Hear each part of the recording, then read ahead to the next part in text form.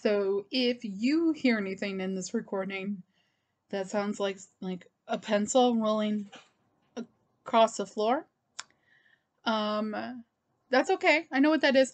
That is my cat getting great joy out of a container from a quarter machine. So I don't have the heart to take it away from him. And that's just how it is. But anyways, guys, hi. Welcome to the officially unofficial Geek Channel Collected Edition Tuesdays. My name is Carrie Quinn, and I am here with this fun pop culture, heavy on the comics stuff for you today. I let me tell you a little bit uh, about how I picked this collected edition. Actually, um, and I'm actually going to low key put some links in the bottom when I talk about all this stuff here. So I watch a lot of YouTube videos and um, I have been in a lot of YouTube channel chats and I actually watch this channel pretty weekly. It's called Comics Will Break Your Heart. They do something called Casually Comics on Sunday where Jen and a woman named Mars get together and talk about comics and comic news. Um, and it happens every Sunday, uh, early afternoon. And uh, so I've been watching this show and participating in the chats, you know, pretty regularly for a while now. And um, I actually found out that Mars was going to be on another show, um, another channel called TM Nerdy.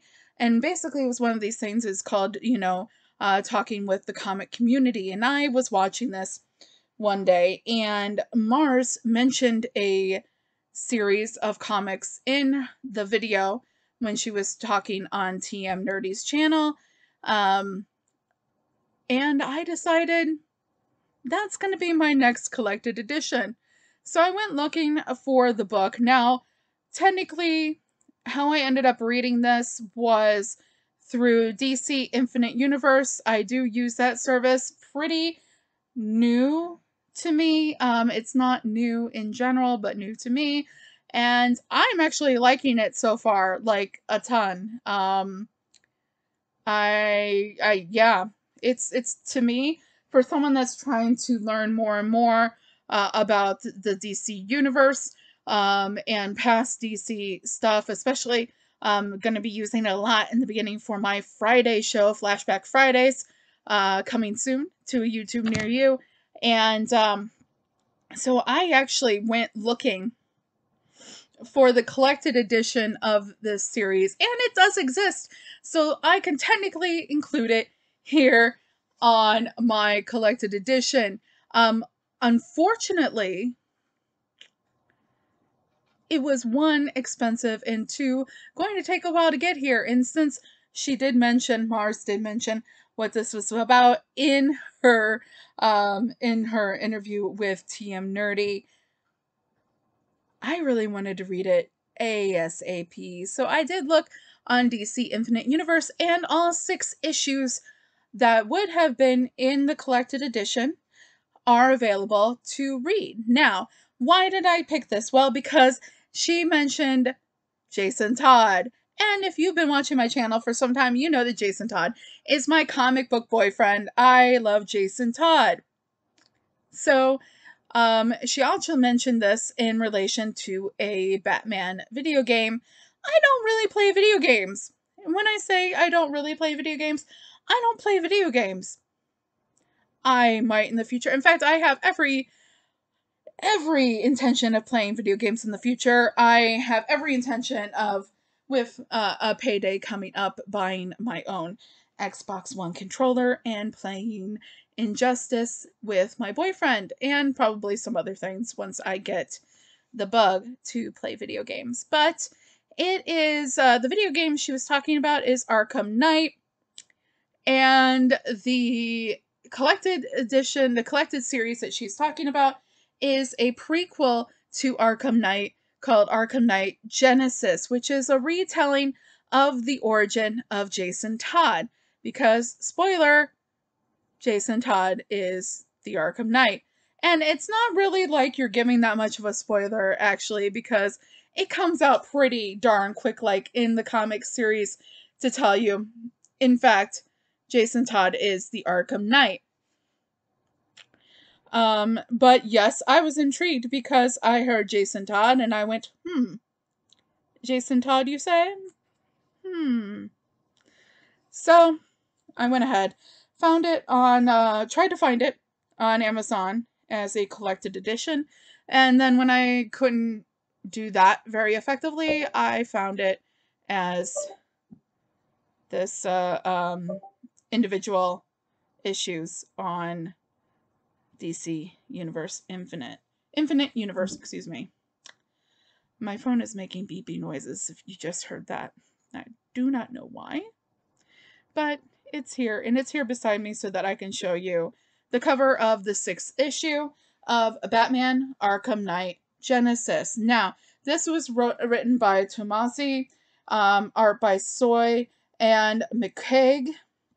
Now, each of the covers was actually done by a different artist than who actually did the art inside of each of the issue. The art was actually done by, and this is something I put up on my Facebook page, um, that the art was actually done by someone by the name of, and I am going to butcher this so bad. Let me, I'm going to find the name so that maybe I could try to sound it out and not sound like so much of a jerk. Um, so Stepan um, Sejic, we're going to go with that. I am sorry if you see this and I mispronounced your name. Let me tell you something though. Despite the fact that I mispronounced your name, I absolutely love your work. One, the covers here on this, one of the good things about it, I'll tell you that right now. One of the good things about it um, if you recognize that name, if you looked it up, who did the cover art because of my horrible uh, uh, mispron- mispronunciation, you're like, okay, who actually did the cover art on Arkham Knight Genesis? Because um, I feel like this might be important. And you Google it, right?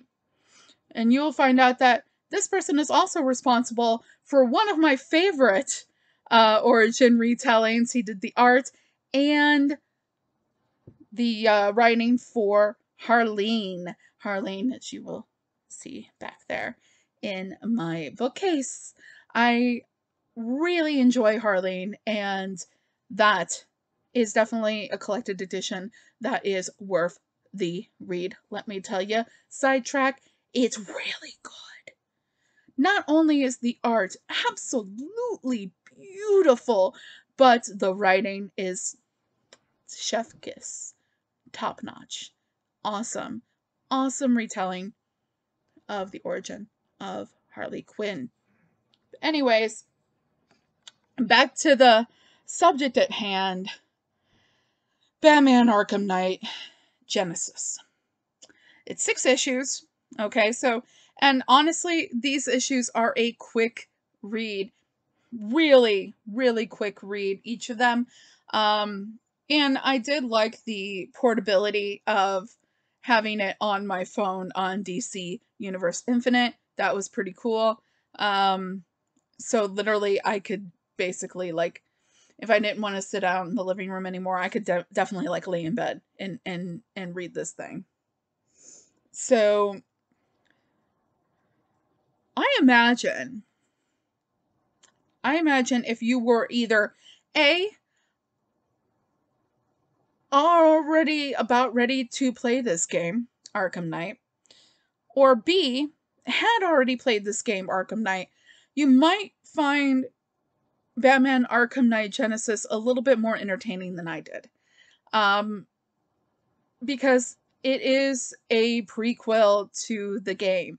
Pure and simple, it ends on, you know, I would say cliffhanger, but it's a weak cliffhanger because it's really just like, you know, hey, you know, go he's uh Jason is talking to to Deathstroke and just giving him, you know, instruction on something to do and everything like that. And then, you know, he's just like, "Okay, so you know, Um, but uh, keep doing what you're doing, and I am going to uh, finish up stuff in, in, in Gotham, and basically that's the end.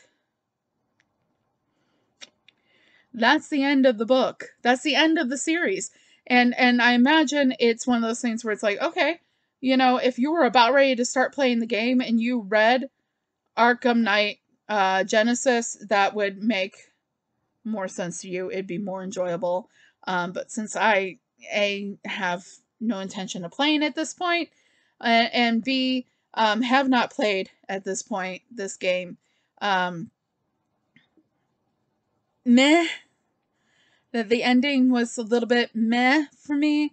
Um, in my taste, um, it, it was one of those things where it's like, okay, here's the thing. This story is not completing, and now you have to go play this video game to complete the story. Which is all well and good. It's all well and good. It's just, do know that that's what you're getting into when you're getting into this series. Other than that, was it good? It was an easy read. Um, nothing too complex. We did have uh, jumps between past and present, and those are clearly um, differentiated between. Those are clearly marked. so there's no confusion in the read. It was an easy read. Um, lots of like, lots of trigger warnings here. Um, I don't want to get too much into it. I don't want to give too many spoilers because I definitely started this thing without giving too many spoilers or uh, without giving a spoiler warning. So, my bad.